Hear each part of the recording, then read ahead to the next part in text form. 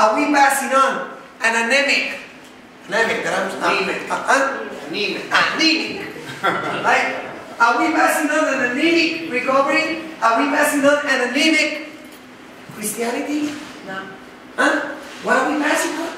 It's not about what we teach. It's about what are we living. And I gave a lot of wrong message to my kids in my time of. You see, by examples, I taught my kids a very wrong teaching for many years.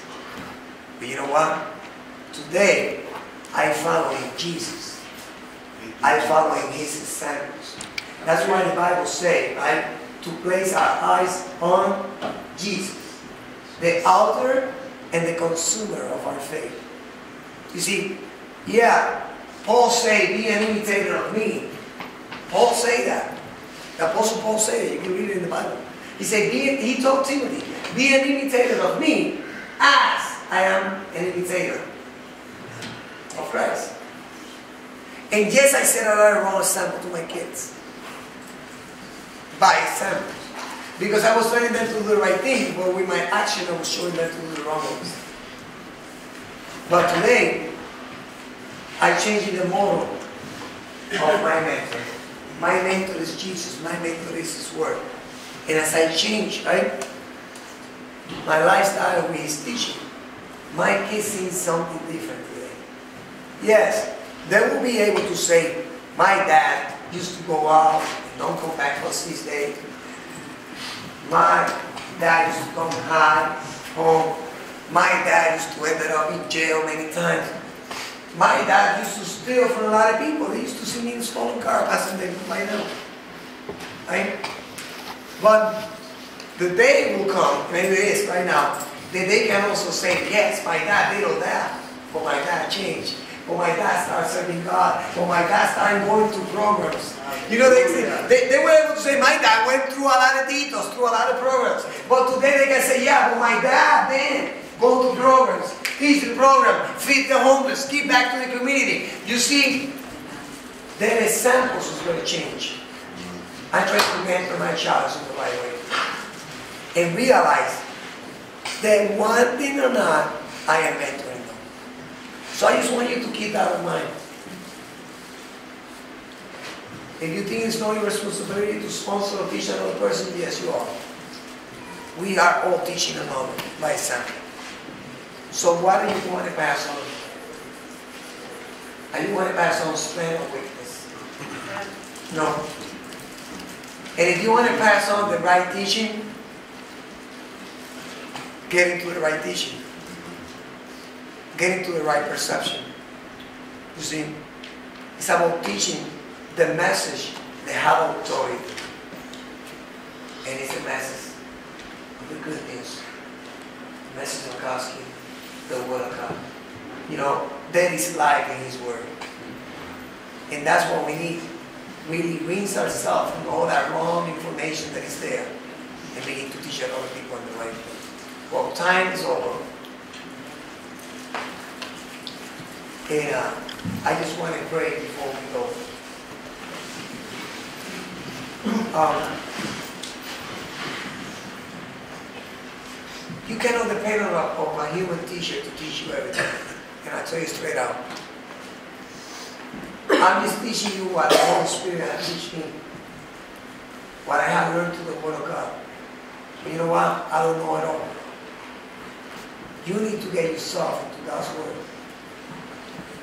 And you have the excuse I used to have, but I don't understand it. You know, the Bible says that the Holy Spirit will teach you all things. It will teach you all things. Trust me, if you read the Bible, say, God, let me understand this. He will. He will teach you. If you don't know how to deal with your kids, you don't know how to be the right person you have to be, the right wife, the right girlfriend, the right husband, the boyfriend, whatever you are, whatever you are. You know, if the way that you have been as a husband, a wife, a brother, a daughter, a mother, if the way that you have been that haven't been the right way, haven't been the right expectation that you have, so then ask God to teach you. Say, God, teach me. You know what? Get into His Word, trust me. It's all here. We need to let ourselves be taught. But you know what? We need to seek for that teaching. We need to seek out. I don't know how to use a needle. Somebody taught me, but because I went to him and said, teach me. You know, to learn the wrong things, it wasn't no shame to go after and find out how to do it. You know, let's put not the same, even more effort to learn who we are in God. You know, to learn what is our purpose in God.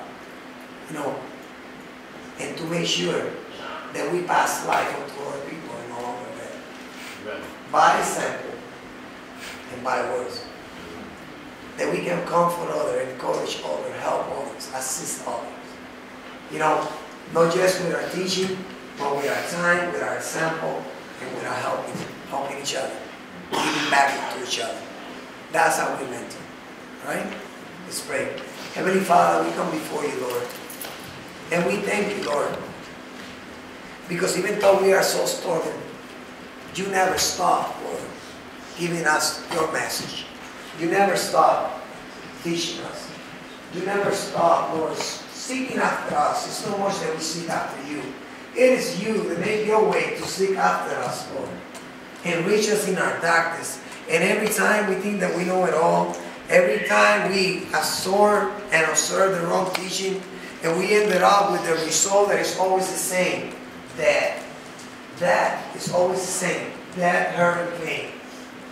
You always come, Lord, to renew our mind. You always come to trying to mold us into the person that you create us to be, Father.